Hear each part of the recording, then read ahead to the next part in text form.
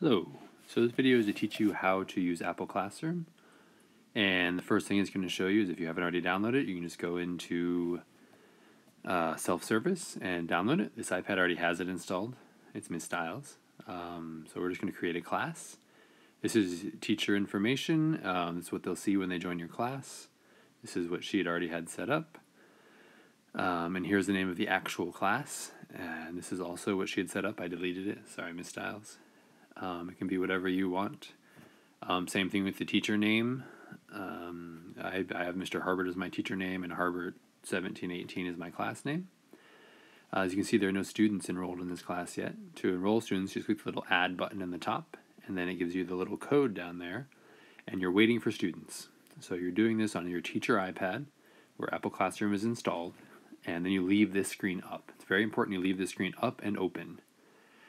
Uh, just a second, we're going to switch to a student iPad, and we're just going to move right into settings, and you'll see right underneath Bluetooth there, in just a second, Classroom pops up automatically. Click it, and you're going to go down and click Allow Teacher to Lock Apps and Devices. You're going to click Always, and go back to Classroom. Then AirPlay and View Screen is Always.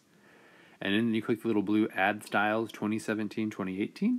Type in a student name. This is Eli's iPad and then you type in that code that was listed on the teacher's device. Now you can have students do all of this, but then they'll be able to turn off the lock apps and devices and AirPlay and view screen stuff. And so if, if you want them to have that control, that's fine. You'll see it says waiting for teacher there with the spinning wheel. All that's doing is waiting for the teacher to confirm that they know this student. So we'll go back to the teacher iPad and I'll show you what happens there. So we left that screen up on Apple Classroom, add students to this class. And on the student iPad, we clicked those buttons, we typed in the code, and in just a second, we'll see Eli pop up here. It does take a few seconds. There's Eli. We click the add button. It's very important you click the add button. And then Eli is added to our Apple Classroom. That was just me making sure it's still recording. So Eli is here. It says offline, but it's just updating. Now we know, oh, Eli is in the settings app. We can see that without viewing his screen, without doing anything. And now I click little screens and it gives me a little thumbnail. And if I click on him and click view screen, it shows me his actual screen in real time, everything he's doing. I'm just swiping back and forth on the screen, double clicking. Um, turned off the screen recorder on the student iPad. And now I'm going to show you what it looks like when I lock his screen from the teacher view. You see it has a little lock symbol on the thumbnail. And we also see he's in the locked group. If I view his screen, all I see is the locked symbol. Now I've unlocked it on here, and it's back on his home screen, and I can see the home screen in my thumbnail. I will warn that viewing screens does suck the battery life of your teacher iPad and the student iPad, so use it when you need it, but not all day. This is what the student sees when you lock their iPad.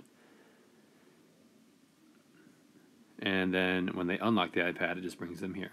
So that's when you just do a generic lock of the device. You can also lock students into apps. And an easy way to do that is just a good one to use is Power Test, because, as you know, if they get out of that during a test, they get locked out. You have to reset their test. It's super annoying. So these are all the apps that are on the student and teacher device. Um, you find Power Test and make sure you toggle that little thing at the bottom that says Lock in App. Now Eli's iPad is locked into power test. The only way for him to get out of it is to power off his device. He can't press the home button, he can't press the power off button, he can't just click it to turn his screen off. Now, if you unlock his device, he stays in power test, but now he has the ability to use his home button or to swipe and go to a different app or back to the home screen. Um, you can also open web pages and things like that using the Navigate feature in the top of the Apple Classroom app, but we'll get to that later.